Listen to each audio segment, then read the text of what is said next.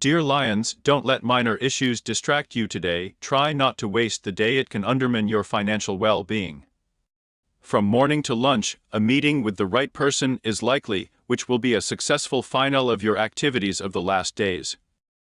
The day is well suited for opening deposits as well as for completing previously started cases. Subscribe to the channel. Get the forecast every day.